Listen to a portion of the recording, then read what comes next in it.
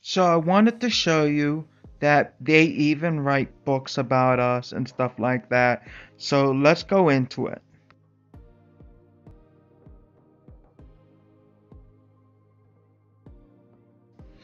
Alright, Salam Alaikum. Alright, so this is a live conversation with someone, and I'm going to prove to you that we get attacked all the time. And she states that Muslims uh, attack her all the time. But please, if they do, now I'm a YouTuber, and I always check YouTube, and I never see no Muslim talking about um dirty about you know as far as you know you know religion about other religions now do we try to beat the misconceptions and uh, you know but we never never talk dirty now i have previously shown you know how dirty these christians can be as far as talking about islam and I could attach the video right into this one, okay? All right, so let's, you know, you know, uh, stop throwing holy water at us and, you know, and, and, and stop throwing your Bible at us. All right, so we're going to go ahead and play this, all right? Support our faith. We don't need to make things up about other faiths, and we don't need to make things up about our faith. All we do is point out the truth to people. So, I'm sorry that you don't like the truth, Angel. Maybe you just shouldn't be a Muslim if you don't like it. Did that ever cross your mind? But I can guarantee you that leaving Islam and coming to Christianity isn't going to stop people attacking you.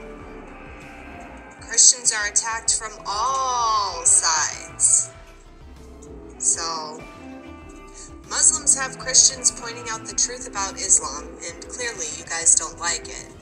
Christians have Muslims, atheists, and all other people around us lying about us, just flat out making up lies. So, I don't know what you're crying about. I'm sorry you don't like things Muhammad did and said, but us pointing them out to you isn't unchristian in any way.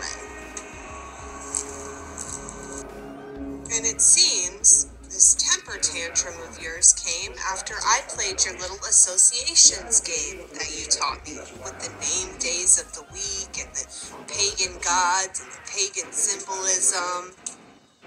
Sorry I did better at it with Islam than you did with Christianity, but that's just the way it is. So, it's not attacking you, it's playing the game you taught me.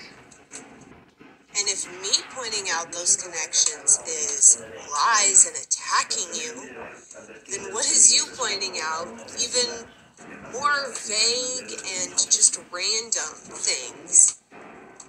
What is that? So I'm sorry that you don't have all kinds of disgusting and awful things to point out about Jesus. I can't help that Muhammad was disgusting. I can't help that. And us pointing it out to you isn't attacking you. It's attacking Muhammad and the fact that he's a false prophet and he's deceiving people. Okay, so since we're done, did you hear that? He's a false prophet. We get that every time. And this whole entire time, you see this Christian Prince? Um, you can buy his book on Amazon, and he has thousands of this book. You can see it yourself.